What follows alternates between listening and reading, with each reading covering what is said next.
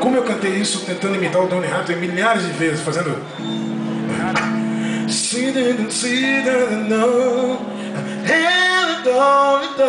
Agora, the fool, the trick, the time.